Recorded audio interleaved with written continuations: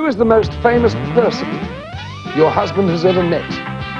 guess who? Guess who? Joe said. Ian Turpie. And what part of married life scares him the most? He said watching you get oh. undressed was pretty.